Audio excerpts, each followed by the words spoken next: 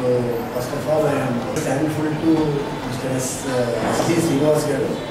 because in the part of uh, summer camp, he conducted this uh, circuit camp. Actually, the motto of Sri Gowthami is the education is real, meaningful, and interesting activity, so that our students are uh, ready to face the future challenges. So that is why we are uh, conducting the innovative programs and uh, the, we are taking the initiative and we are conducting all the programs. Our main aim is children should experience in that program by conducting such and such kind of programs. So uh, I am very much thankful to you and uh, I am suggesting all the students what is your experiences actually.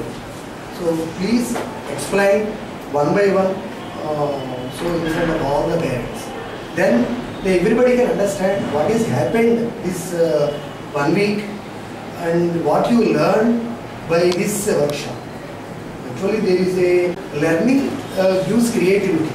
It is Abdul Kalam said this one. Learning gives creativity. Creativity leads knowledge. Knowledge makes you great. So that is why Sri Gowthami is conducting such kind of programs. And one more thing, just a classroom instruction with good uh, grade point average is not uh, so long enough. The multi-dimensional uh, thinking is required nowadays. So that is why, so whatever program we are we are conducting, so our aim is to involve the students in such a way to learn.